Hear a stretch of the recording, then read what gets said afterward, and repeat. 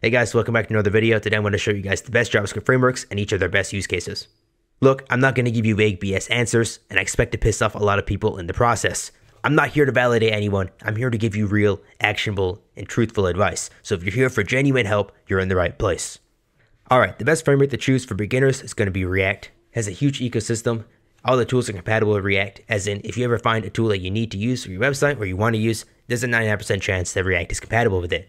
Top of that, it's going to force you to learn JavaScript properly because it's close to vanilla JavaScript. So that's a huge plus for beginners trying to learn website design in general.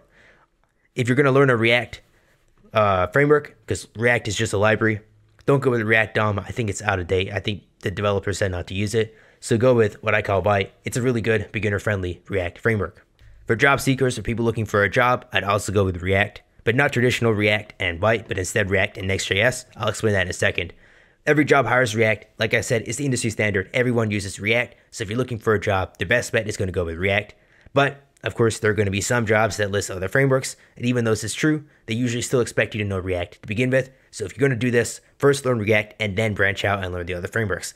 It's not too hard to branch out once you learn one framework, so don't worry too much about this. And finally, React is used in literally every company on the planet, from small companies to FAANG, so if you learn React, it's going to work in nearly all environments.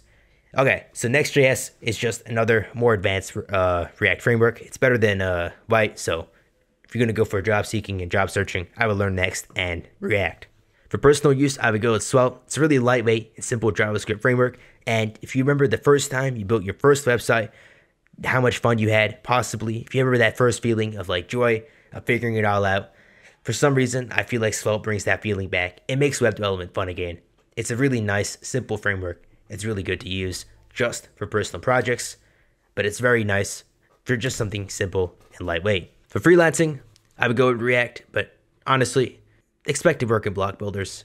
I say React because it's the more likely one if you're going to write code, but from my experience, you probably won't end up writing code because most clients are going to come to you with like a really shitty half made WordPress, Mixer, Squarespace site, which they have completed and never got done.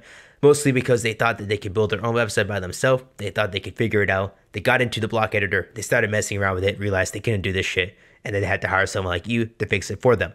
So that's more likely what's going to happen for freelancing.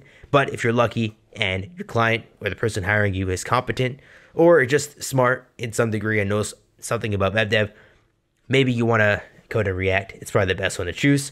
It's the highest likelihood that's what they're looking for anyway. So increase your luck if you can get lucky and find someone looking for someone to write code for them.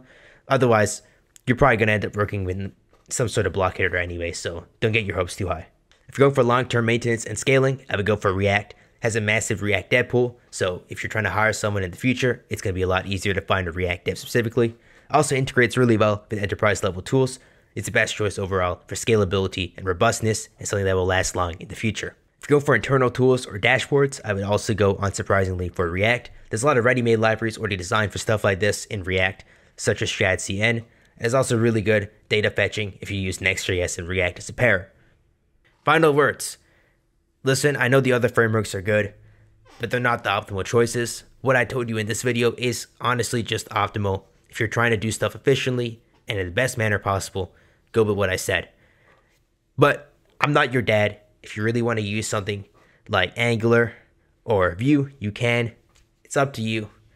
If you need to do it to enjoy web development, please by all means getting code out there and getting stuff done is always better than not doing anything. So if it's a matter of do or die, you can use another framework. It's all up to you.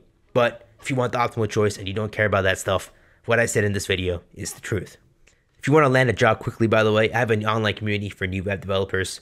I have a lot of strategies and methods for getting hired as soon as possible. There's a link in the description if you want to check it out. If you're curious, otherwise, I'll see you guys in the next video.